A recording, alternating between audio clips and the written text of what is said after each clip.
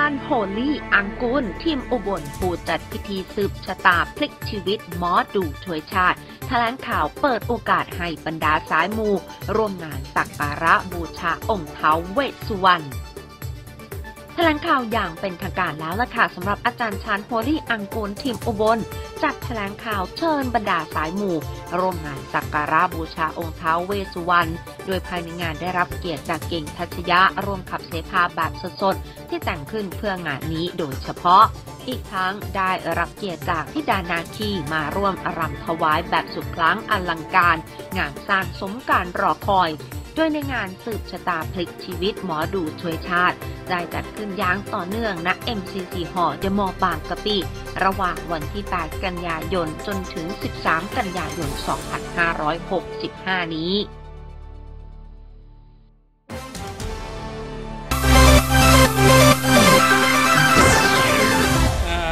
น้องๆนะครับ มีพี่มาดูนะครับสื่อมวลชนทุกท่านนะครับ ที่มาช่วยทำข่าววันนี้นะครับ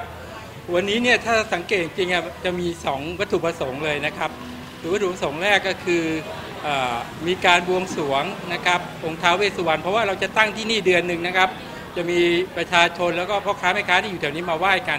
อีกอันหนึ่งก็คือตอนนี้นะครับตอนที่กำลังแถลงข่าวเนี่ยเเราจัดงานแถลงข่าวคู่ไปด้วยนะครับ เพราะว่าวันที่ 8 กันยานะครับจะมีงานสืบชะตาพลิกชีวิต หมอดูช่วยชาติครั้งแรก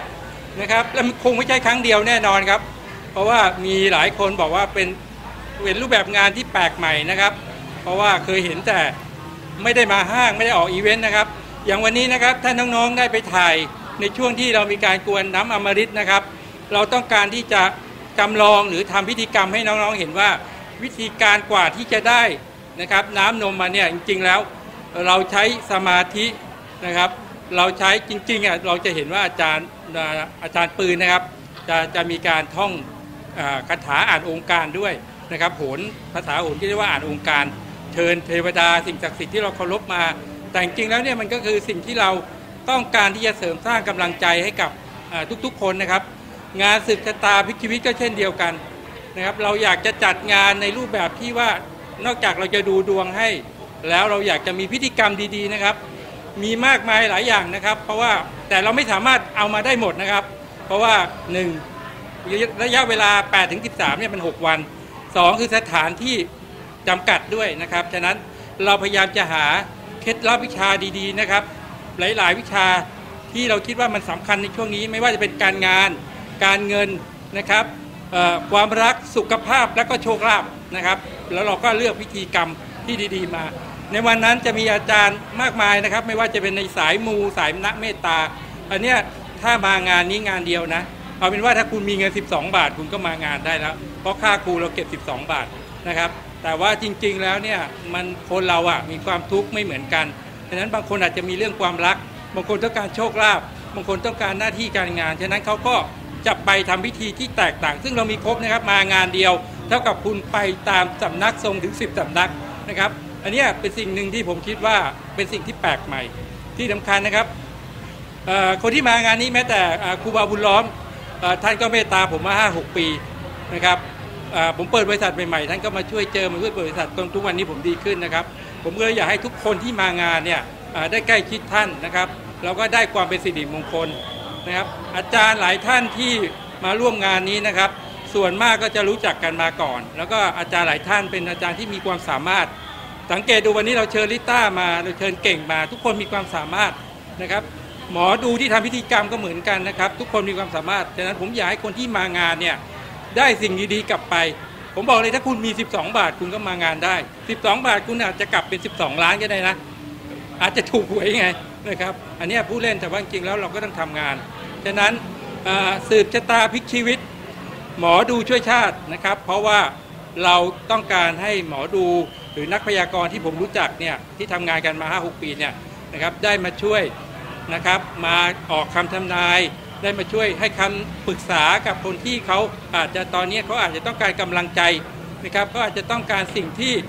เป็นคำแนะนำที่ดีๆนะครับ ซึ่งหมอดูเนี่ยเป็นอาชีพของเราอยู่แล้วนะครับที่เราจะทำนายนะครับ อันนี้วันนี้วัตถุประสงค์ที่ตอบน้องคือ วันนี้เราจัดงานเพื่อที่จะแถลงข่าวงานแล้วนะครับย้ำอีกนิดนึงนะครับ สืบชะตาพลิกชีวิตหมอดูช่วยชาติ8ถึง13 กันยายนนะครับเดอะมอล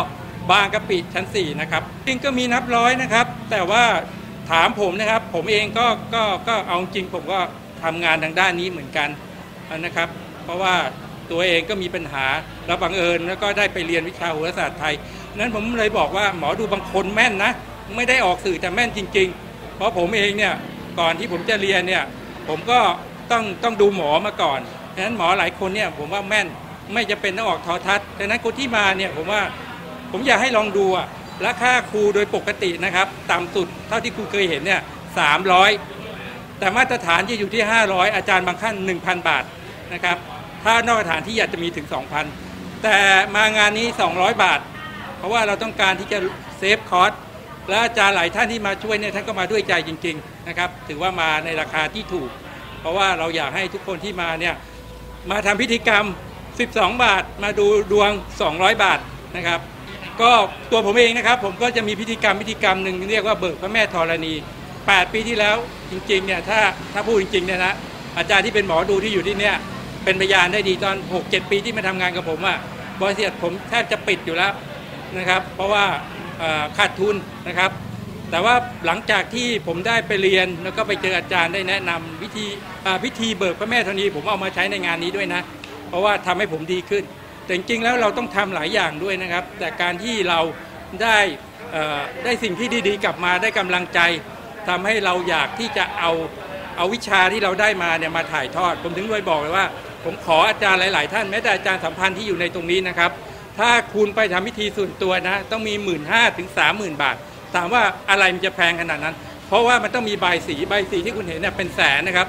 ฉะนั้นมางานเนี่ยใบสีสองแสนเนี่ยผมทำไว้ให้ในงานแล้ว ฉะนั้นคุณไม่ต้องเสียค่าใบสี อันนี้คุณลดไปแล้วค่าอาหารที่คุณเห็นนะครับ ที่จะต้องไหว้อาหารมงคลเนี่ยมันก็เป็นหลักแสนเหมือนกัน อันนี้คุณก็ไม่ต้องเสีย ฉะนั้นพิธีกรรมค่าบวงสรวงต่างๆ เราจัดไว้คุณหมดแล้ว แค่ขอค่าครู12 บาท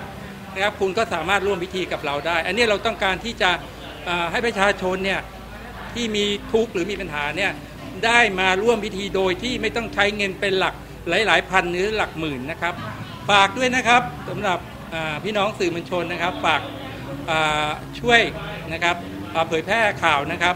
สืบชะตาพิชีวิตหมอดูช่วยชาตินะครับ เพราะในงานยังมียังมีการออกบูธด้วย เราต้องการให้คนที่ต้องการจะค้าขายของคือต้องการรายได้เนี่ยมาออกบูธด้วยนะครับ เพราะว่าก็จะช่วยกันเพราะผมคิดว่าจะมีคนมาร่วมงานเยอะ อย่างน้อยคนที่มาเช่าบูธออกบูธเนี่ยก็จะมีรายได้ด้วยฝากนะครับจะสื่อมวลชนนะครับงานนะครับ สืบชะตาพลิกชีวิต หมอดูช่วยชาตินะครับ ครั้งแรกนะครับ แล้วก็เดี๋ยวปีหน้าก็จะจัดเป็นครั้งที่สองนะครับ วันที่ 8 เน้นนะครับ วันที่ 8 กันยา วันนี้ 8 เดือน 8 บวงสรวงนะครับ 8 กันยานะครับ เปิดงานวันแรกนะครับ ถึงวันที่ 13 กันยา ที่เดอะมอลล์บางกะปินะครับ ชั้น 4 MCC Hall ครับ ยังไงท่านสื่อมวลชนมานะครับ เดี๋ยววันนี้ เดี๋ยวเราวันนี้เราจะมีน้ำน้ำอมฤตน้ำนมให้ทุกท่านได้ดื่ม แล้วขอให้คนที่มาดื่ม แล้วก็มางานนี้นะครับ กลับไปประสบความสำเร็จทุกเรื่องที่คุณหวังนะครับ แล้วก็คุณต้องการความรักก็ให้สมหวัง ต้องการหน้าที่การงานก็ขอให้เจริญก้าวหน้า ต้องการโชคลาภก็ก็ขอให้เฮงๆรวยๆปังๆ ที่สำคัญนะครับ ขอให้ทุกคนนะครับประสบความสำเร็จนะครับ วันนี้นะครับคนที่มาร่วมในงานนี้ผมว่า คุณอาจจะต้องเจอสิ่งที่ดี ๆ แน่นอนนะครับ